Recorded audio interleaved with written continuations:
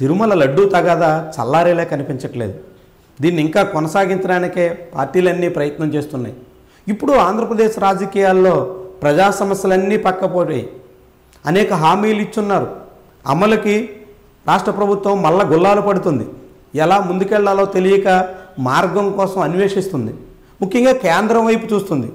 కేంద్ర ప్రభుత్వం తమకు న్యాయం చేయకపోతుందా? తగినన్ని నిధులు ఇవ్వకపోతుందా? అని చంద్రబాబు కూడా ఆశాభావంతో ఉన్నారు. ఈ వంద రోజుల్లోనే మూడు నాలుగు సార్లు ఢిల్లీ వెళ్ళి మొరపెట్టుకుని కూడా వచ్చారు. కానీ కేంద్రం నుంచి ఆశించినంత స్పందన రావటం లేదు. ఇలాంటి సమయంలో ఆంధ్రప్రదేశ్ ప్రజలకు ఇచ్చిన హామీల్ని ఎలా నెరవేర్చాలన్న దాని మీద తీవ్రంగా మదనపడుతుంది ఈ సమయంలో మత అంశం ముందుకొచ్చి ప్రజల సమస్యలన్నింటినీ పక్కన పెట్టేసింది. సూపర్ సిక్స్ హామీల సంగతి ఏంటి అని ప్రశ్నించే వాళ్ళే కనిపించట్లేదు. ఇప్పుడు తిరుమల లడ్డు నాణ్యమైనదా కాదా? తిరుమల పవిత్రమైందా అపవిత్రమైందా? తిరుమలలో అపచారానికి కారకులు నువ్వా నేనా? ఇదే ఇప్పుడు అందరూ మాట్లాడుతున్న అంశం. ఉప ముఖ్యమంత్రి పవన్ కళ్యాణ్ ఒక అడుగు ముందుకేసి జనం అందరూ రోడ్ల మీదకి రావాలని పిలుపుని కూడా ఇస్తున్నారు. పవన్ కళ్యాణ్కి తెలియదేమో ఎవరో నాయకుడు పిలిపిస్తే జనం రోడ్డు మీదకి రారు. తమకు సంబంధించిన సమస్య అనుకున్నప్పుడు తాము ఈ సమస్యలో భాగస్వాములు కావాలనుకున్నప్పుడు ప్రజలు ఏ నాయకుడు ఆపినా ఆగరు కూడా. అది ప్రజలు తమ తాము తీసుకునే నిర్ణయం. పవన్ కళ్యాణ్ రెచ్చగొట్టినా పవన్ కళ్యాణ్ ఎంతగా ఉద్రేగాలు రాజేయాలని చూసినా ఆయన వల్ల కూడా అయ్యే పని కాదు.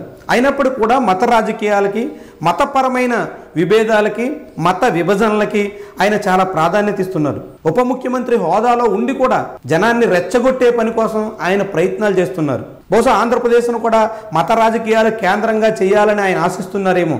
లేదంటే బీజేపీ ఎజెండా ఆయన నెత్తునెట్టుకుని మోస్తున్నారన్న ఆరోపణకి తగ్గట్టుగా పనిచేస్తున్నారేమో. అంతేకాదు దక్షిణ భారతదేశంలో ఏదో రకంగా పాగా వేయాలని చూస్తున్న బీజేపీకి ఆయన తురుపు మొక్కగా మారాలని భావిస్తున్నారేమో. అదంత సులువు కాదు పవన్ కళ్యాణ్.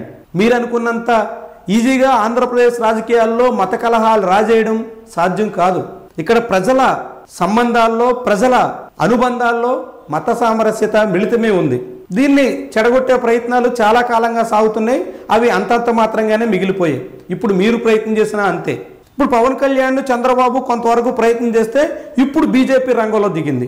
విపక్ష వైఎస్ఆర్సీపీ కూడా అదే పందాలో సాగుతోంది. తిరుమల కొండకు అపచారం జరిగిందని రాష్ట్రమంతా పూజలు చేయాలని పిలిపించింది.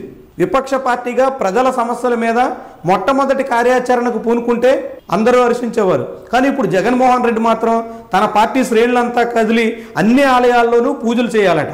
పార్టీ అధికారం కోల్పోయిన తర్వాత ప్రజలందరూ కదలాలని ఇచ్చిన పిలుపు ఇదే. ఈ పిలుపులో తొలి కార్యక్రమమే మత సంబంధిత కార్యక్రమం. ఇక ఈ జగన్మోహన్ రెడ్డి పిలుపు వినగానే బీజేపీ మొదలైంది. తామెక్కడ వెనుకబడిపోతున్నామో ఈ రేసులో?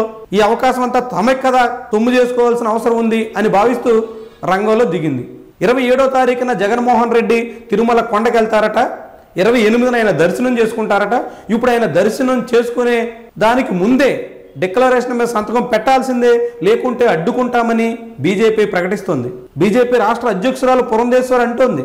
తెలుగుదేశం పార్టీ ఆర్థిక మంత్రి పయ్యావులు కేశవ్ కూడా చెప్తున్నారు. పయ్యావులు కేశవ్ అడ్డుకుంటానని చెప్పకపోయినా బీజేపీ మాత్రం అడ్డుకుని తీరుతామంటుంది.